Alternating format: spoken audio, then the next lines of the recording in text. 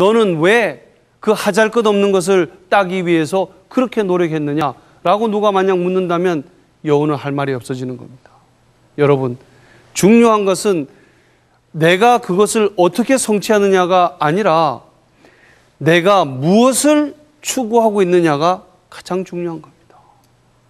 목표를 설정하실 때 신중하게 하시고 절대로 양보할 수 없는 그리고 가장 가치 있는 목표를 설정하시기 바랍니다. 4살짜리 어린아이 6명을 한 방에 둡니다. 그리고는 탁자 위에다가 마시멜로를 하나씩 줍니다. 15분 동안 마시멜로를 먹고 있지 않으면 하나 더 주겠다.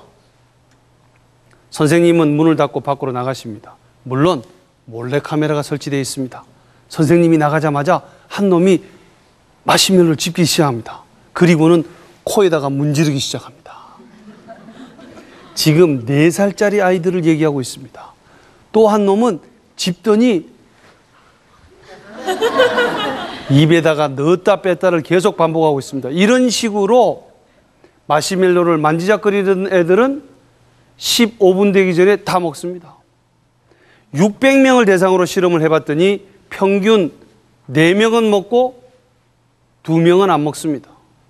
자, 14년 뒤 이 아이들이 18살이 되었을 때 추적 조사를 해봤더니 마시멜로를 안 먹은 2명의 아이는 4명의 아이보다 학업 성적이 월등하게 뛰어납니다. 자, 어떻게 이 두 명의 아이는 마시멜로를 먹지 않는데 성공했을까요? 몰래 카메라를 돌려봤습니다. 그랬더니 공통점이 하나 나옵니다. 마시멜로를 안 먹은 아이들은 쳐다보지도 않습니다. 15분 뒤 두 개 먹습니다. 여러분, 눈앞에 마시멜로가 보이십니까? 드시지 마세요. 쳐다보지도 마십시오. 성공하는 사람은 작은 유혹에 한눈 팔지 않습니다. 자기가 설정한 목표를 끝까지 추구해 가는 것. 이것이 바로 올바른 목표를 설정하고 절대 포기하지 않는 자세입니다, 여러분. 예상할 수 없는 것을 예상하라. Expect the unexpected. 사람들은 예상할 수 있는 것만 예상하려고 합니다. 즉, 어떤 걸 예상할 수 있겠어요? 자기가 계획한 것. 그렇지만 이 세상은 그렇게 녹록치가 않습니다. 자기가 계획한 대로 다 될 거라고 생각하면서 일을 추진하십니까? 내가 계획한 것이 이루어지지 않는다면 어떤 일이 벌어질까를 늘 머릿속으로 생각하십시오. 그것이 바로 되는 방향으로 가다가 안 되는 방향으로 갈 때 동시에 대처할 수 있는 겁니다. 리더는 자신이 하고 있는 것이 늘 성공할 거라고 하는 그러한 안이한 생각 속에서 일을 진행해서는 안 됩니다. 성공할 수도, 성공 안 할 수도, 그 모든 경우에 나는 각각 어떻게 대비할 것인가를 준비하고 일을 추진해 나가는 겁니다. 제가 말씀드리는 것은 절대 방심하면 안 된다는 겁니다.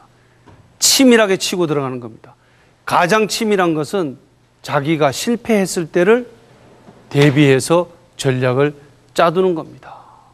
여러분들 만약에 여우, 여우의 입장 한번 들어가 보십시오. 모든 노력을 다 기울여 가지고 포도를 따려고 했는데 포도가 따지질 않아.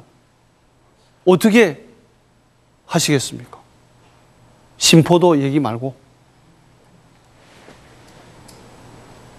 요건 문제의 난이도가 좀 있기 때문에요. 1분 15초 드리겠습니다. 자, 옆에 아까 팀들하고 토론하시죠. 모든 노력을 다 기울였는데 따지 못했다. 그럴 때 나는 어떻게 할 거냐 하는 것을 한번 얘기를 해보세요. 자, 아까 그 세 분서, 세 분씩, 예. 숫자가 안 맞으면 두 분씩 해도 되고요.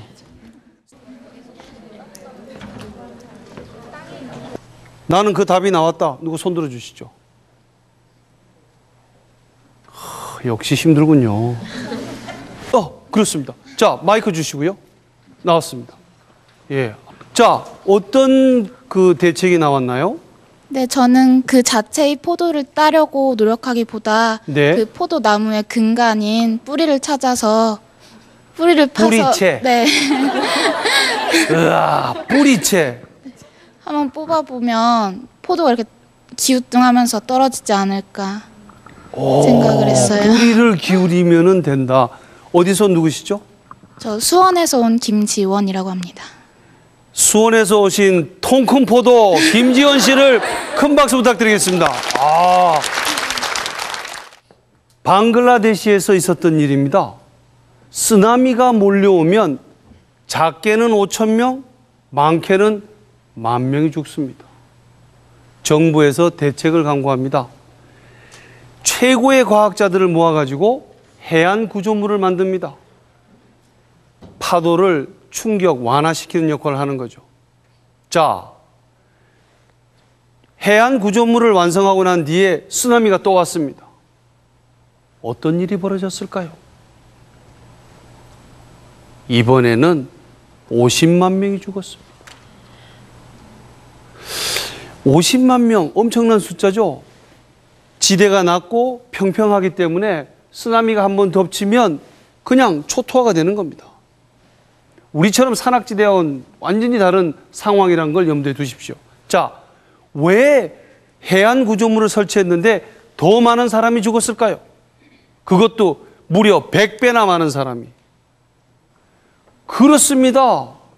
사람들이 해안 구조물을 믿고 더 바다에 가까운 곳에 나와서 살기 시작했고 더 많은 사람이 살다 보니까 해안 구조물을 넘어서는 쓰나미가 왔을 때 50만 명, 100만 명이 죽어나간 겁니다. 학생들을 다섯 명씩 두 팀을 만듭니다. A4 용지를 줍니다. 10장씩 줍니다. 그리고는 손을 그어 놓고 반대편 쪽으로 종이 비행기를 만들어서 날리라고 합니다. 종이 비행기를 곱게 접어서 날리는 팀들은 꼭 지고 맙니다. 어떤 팀이 이겼을까요?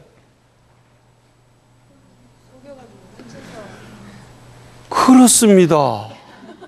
이거 정답이 사전에 나간 건지. 종이 비행기는 구기면 안 된다라고 하는 말을 제가 한 적이 없습니다. 날아갈 수 있는 거면 그리고 종이로 만들어진 것이면 다 종이 비행기입니다. 예상할 수 없는 것을 예상하라. 2500년 전 헤라클레이토스라는 사람이 그리스의 철학자로 살고 있었습니다. 이 사람은 이 세상 모든 것은 변한다. 같은 강물에 발을 두 번 담글 수가 없다. 왜냐하면 먼저 발에 닿았던 강물은 지나갔기 때문이다. 이런 얘기를 한 분인데 이 세상 모든 것이 다 변하지만 변하지 않는 것이 하나 있다. 무엇이라고 그랬을까요? 이 세상 모든 것은 다 변한다. 그러나 딱 한 가지 변하지 않는 것이 있다.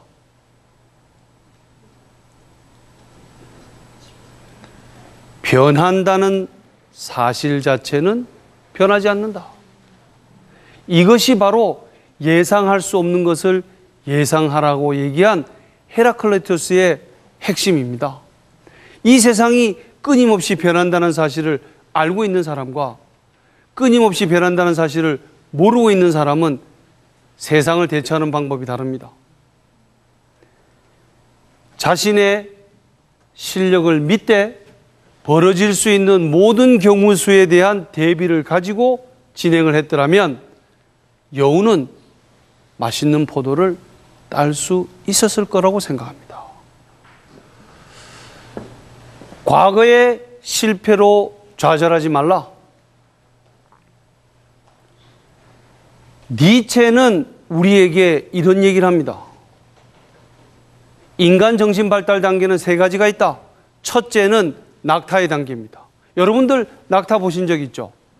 낙타를 보면은요, 그 뜨거운 사막에서 걸어 다니는데도 전혀 불평 한마디 하지 않습니다. 자기 앞에 있는 낙타가 걸어가는 길을 그대로 따라갑니다. 제일 앞에 있는 낙타는 주인을 따라갑니다.